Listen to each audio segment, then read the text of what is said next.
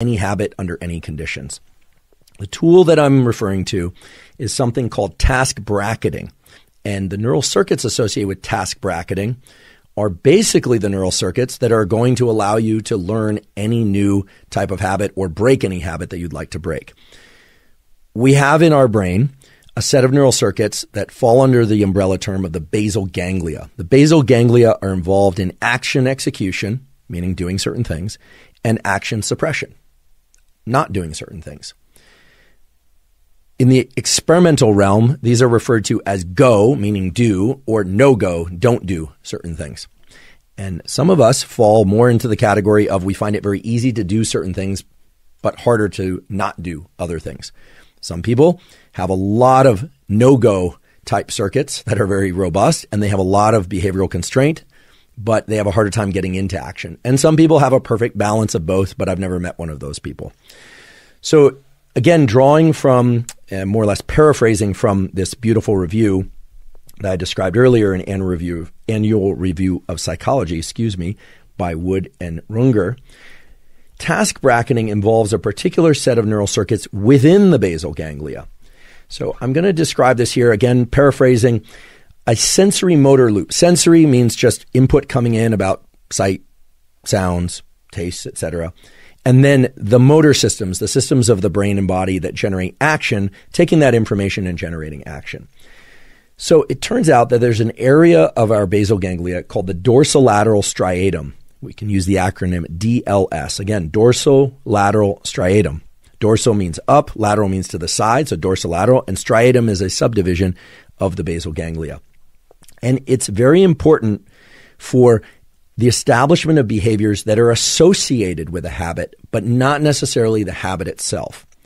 And beautiful studies in both animals and humans that record the electrical activity in the dorsolateral striatum find that the dorsolateral striatum is associated, meaning it becomes active at the beginning of a particular habit and at the very end and after a particular habit. Hence the phrase task bracketing. It brackets the habit. Now, other sets of neurons are going to be active during the actual execution of the habit. But what the literature on the dorsal lateral striatum tells us is that we have particular circuits in our brain that are devoted to framing the events that happen just before and as we initiate a habit, and just after and as we terminate a habit. In other words, it acts as a sort of marker for the habit execution, but not the execution of the habit per se.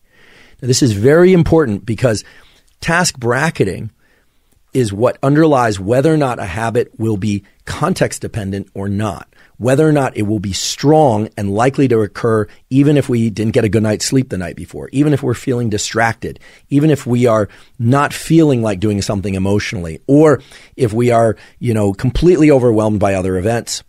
If the neural circuits for task bracketing are deeply embedded in us, meaning they are very robust around a particular habit, well, then it's likely that we're going to go out for that zone two cardio no matter what, that we're going to brush our teeth no matter what. In fact, brushing our teeth is a pretty good example because for most people, even if you got a terrible night's sleep, even if everything in your life is going wrong, chances are, unless you're very depressed, if you're going to leave to work or even if you're not, that you're going to still carry out the behavior of brushing your teeth in the morning. I would hope so, actually.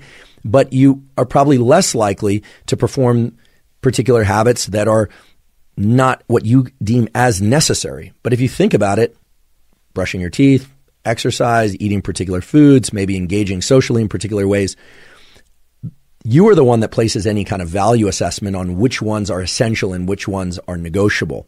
So task bracketing sets a, a neural imprint, a kind of a fingerprint in your brain of this thing has to happen at this particular time of day, so much so that it's reflexive. And as we'll talk about in a moment, there's a way